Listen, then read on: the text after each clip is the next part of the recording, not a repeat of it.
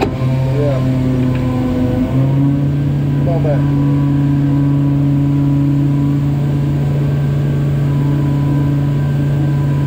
Yeah.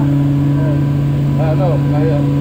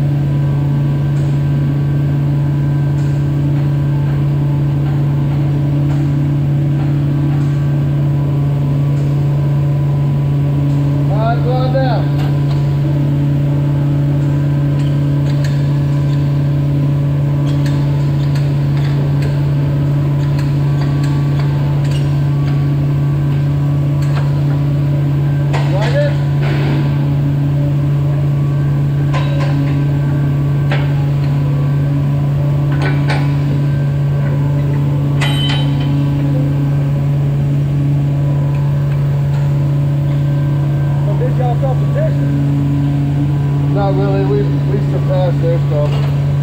Our shit's way better. Hey, that sounds about right.